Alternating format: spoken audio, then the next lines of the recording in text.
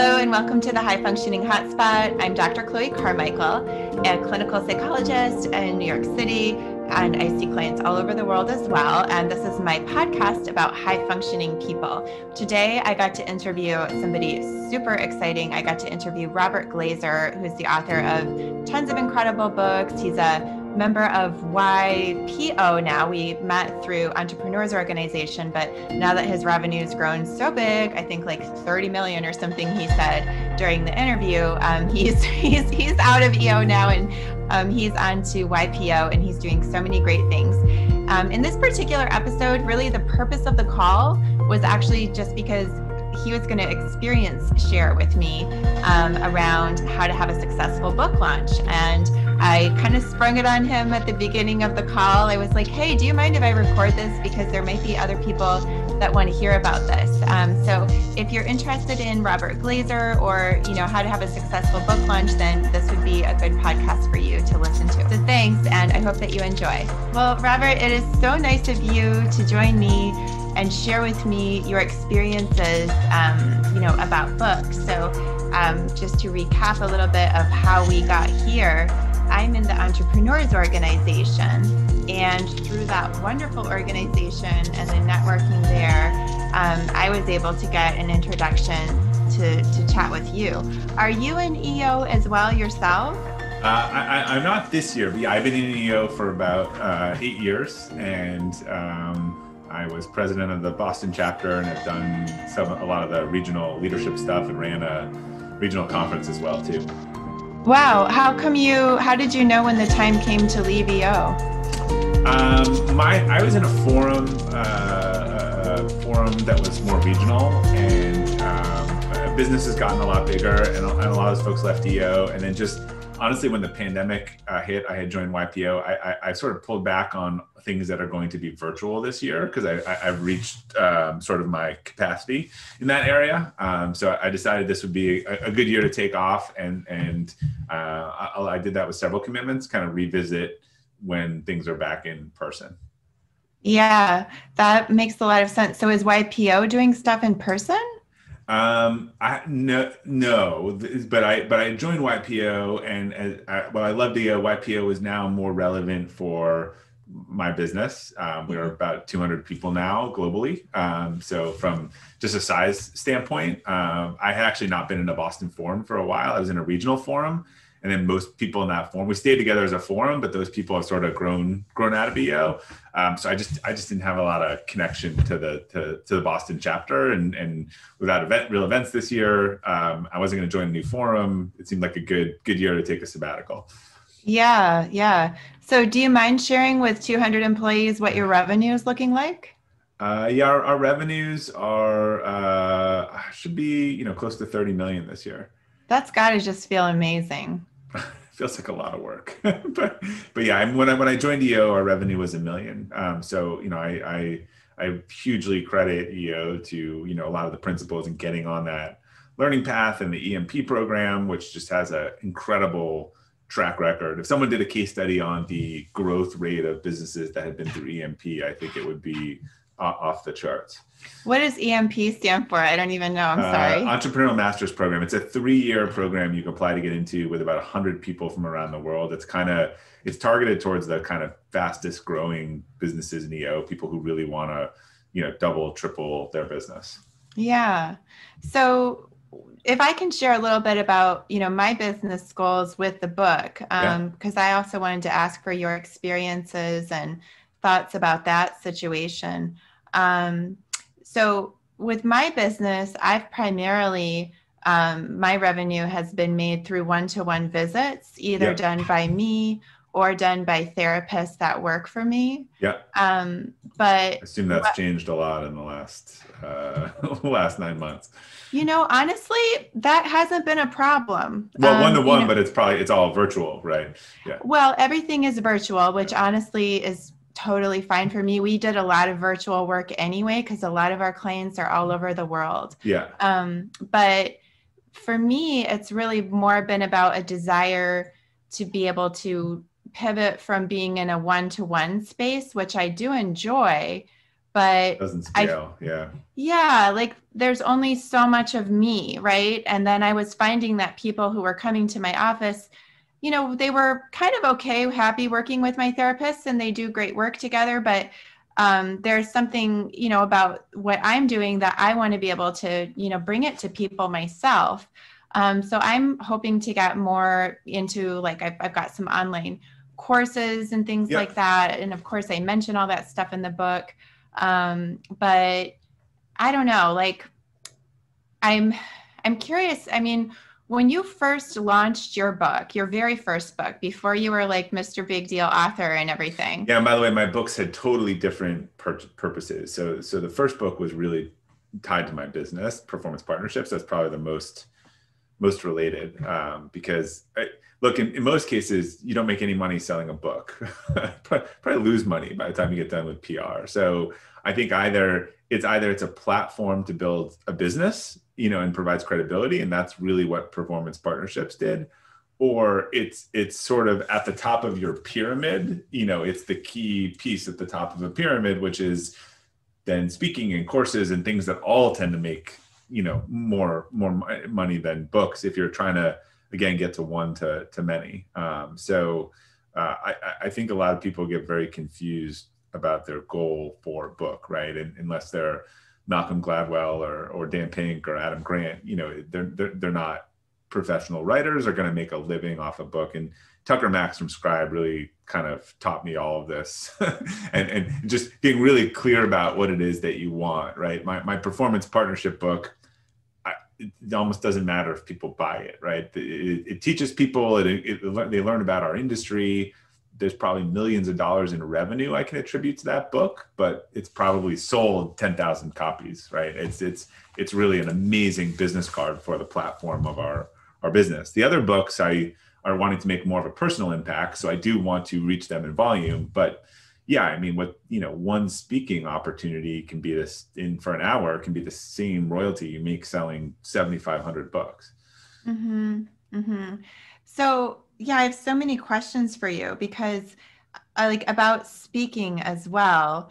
Um, some people have told me like, oh, Chloe, don't really expect that the Macmillan Speakers Bureau is really going to like actually get you much like on the inbound side. You're going to have to go like get your they own. They won't unless they gave you a five hundred thousand dollar advance. okay. You know that, that that is there's one to two books each year that publishers really focus on the rest of a book, you have to do all the marketing yourself. You have to hire PR, you got to hire a person, you got to build a team. So to spend all that money, if you if you got a you know no advance or a ten thousand dollar advance, you got to really feel like there's something besides the book that's gonna give you the ROI on the back end. Mm-hmm. And so to that point, um, you know, I'm, I'm sure at this point you're at a career at a point in your career where the inbounds for speaking and those very large figure um, speaking yeah. arrangements they they come in more naturally for you but when you were first launching that first book and how, how did you start ginning up all that speaking and and how did you know when it was time to raise your fees and did you ever just you know start using an agent or did you handle it yourself uh, yeah, I handle it myself. The speakers bureaus only tend to work with high end, you know, 20 to 30K. You, you can hire a PR firm, you can there's some other stuff that you can do, but um, I think the way speaking goes is you start on the C circuit, you move to the B circuit, and then you try to move to the A circuit. And you know the way pricing goes is when when there's more demand than supply that you want to do, you start raising your prices to constrict the amount of events you want to do. Right? If there's if there's a hundred people that want to pay you a thousand dollars to speak, and you're like, wow, that sounds utterly exhausting.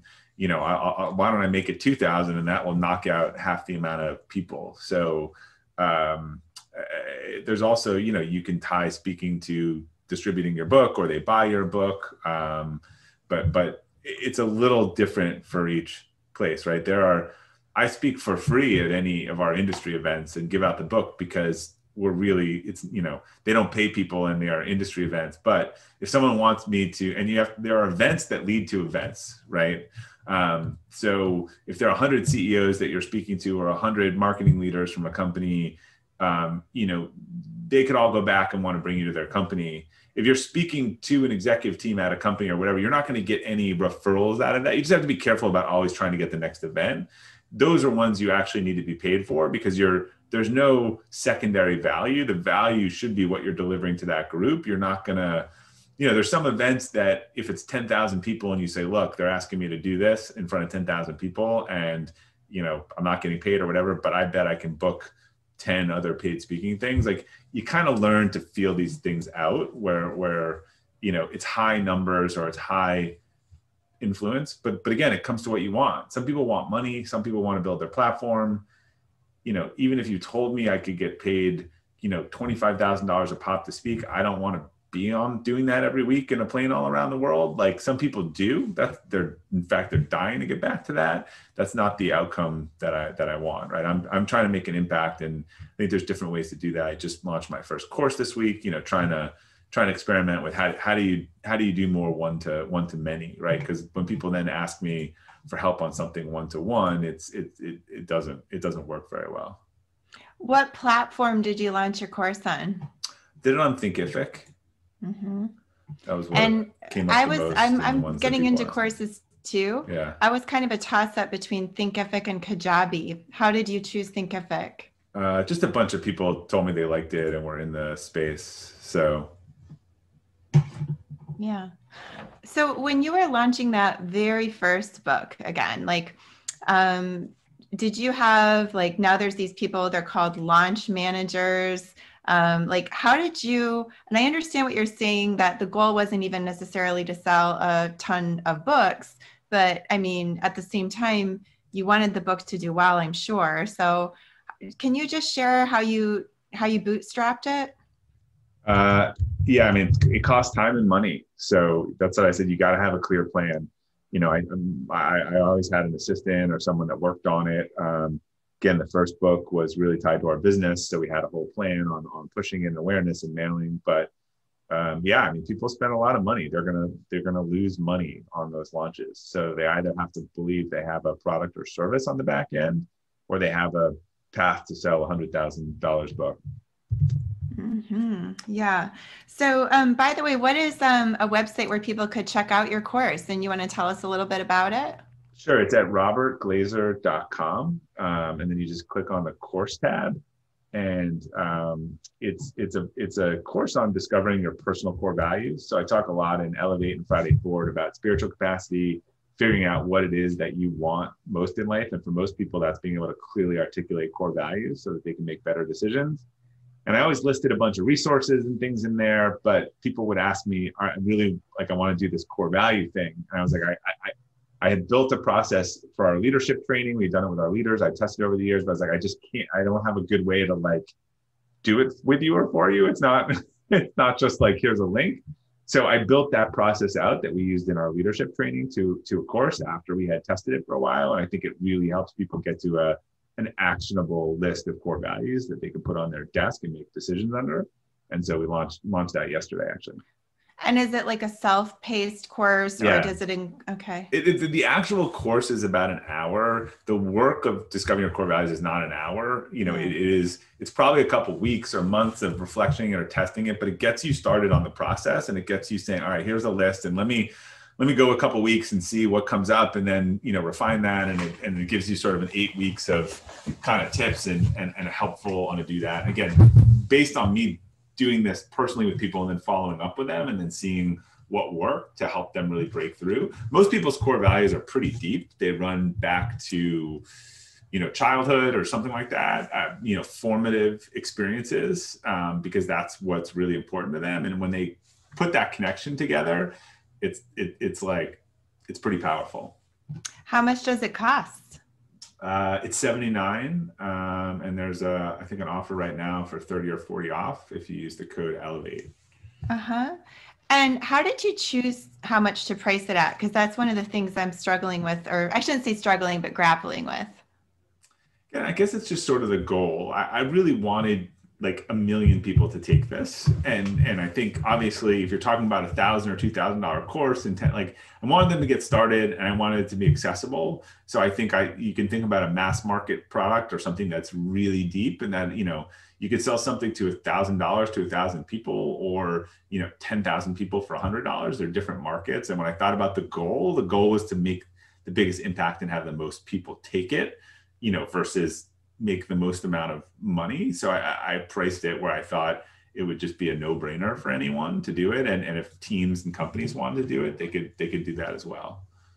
Yeah, yeah, I've thought about a lot of those same factors and you know, at the same time, of course, if we make it too cheap, then I feel like people don't value it. So I have to say 79 is a good sweet spot number. I kind of like that one. Maybe I'll try it out. Yeah, like I think a thousand dollar course needs to be a lot longer, more robust. It, you might then, it's like a book, you might overdo it just to try to justify the price versus again, if you said, if I said, what's my goal? If I said, if a million people took this and, and you know figured this out for themselves that would be like an amazing outcome and and so that that was sort of my goal around the pricing.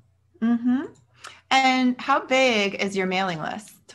Uh, I have about 200,000 people that follow my Friday Forward, weekly Friday Forward. So I have a pretty good kind of built in list. I had also been telling people the course was going to come out for a while and pre signed up, and I had about a thousand people who had expressed interest in that. Yeah. Um, do you mind if I ask you a couple more questions about that? Because sure. I feel like the mailing list is such an important piece for so many people, myself included. Yeah. Um, how often do you email your mailing list? Because I'm always like, I don't want to harass them, but I also don't, you know, want to like fail to be in touch enough. So, how often do you mail? You could segment. I mean, I send my Friday forward every Friday. That's something that people have signed up for. Um, otherwise, I tend to send a general thing, maybe every four to eight weeks. But but usually it has some value or that it summarizes some key things. I I I, mean, I think you got to look at your unsubscribe rates and get a sense of is it is it too much, is it not enough, um, and and and there's a little trial and error there.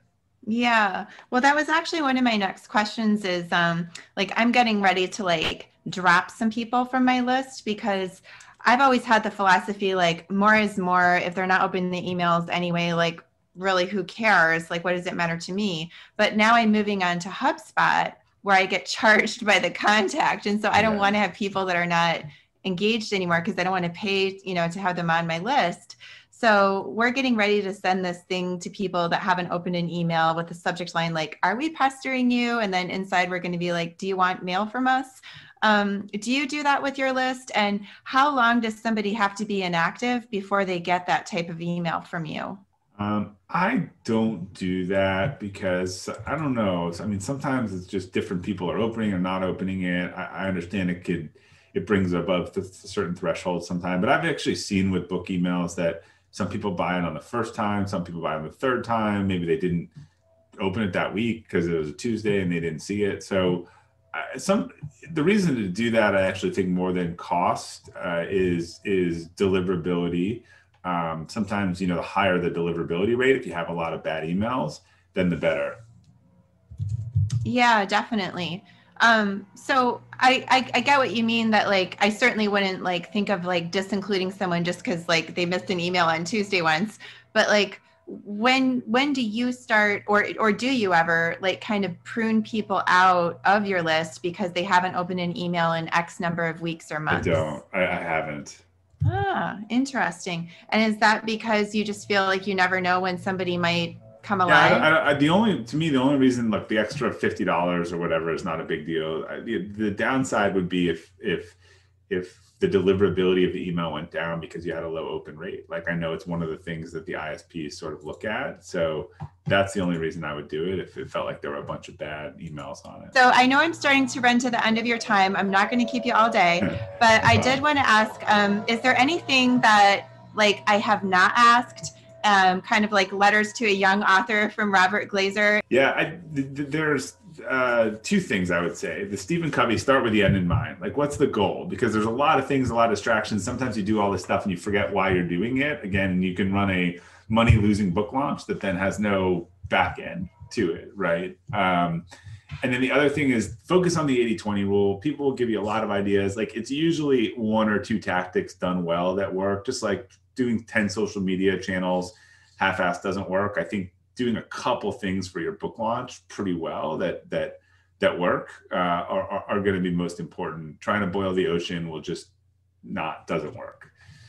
So well said, Robert Glazer.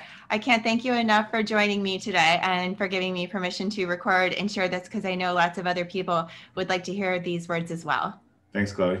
Thanks. Take care. Bye bye. Wow, that was a great conversation with Robert Glazer. Um, he's got so many interesting tips to share. And I think he's so right that starting with the end in mind is really important. So I'm definitely going to think a lot about the goals that I might have for my book. I actually um, stopped offering individual psychotherapy somewhat recently. I'm taking a sabbatical from that. So um, I'm really thinking a lot about, you know, expanding more into courses and ways that I can reach more people. Um, so if that's something that you are interested in, you know, taking courses and things like that from me, um, I'm actually, you know, going to be looking for you know people that might even be open to taking the course for free um, in exchange for sharing your feedback or sharing with your network and things like that. Or send me a message on social media. I'm on twitter instagram facebook like everywhere. So just google my name and you can um, find me there. And of course, we'll also put Robert Glazer's information in the show notes as well in case you want to connect with him and take his course too. It sounded great. Okay, well, have a great day, everyone.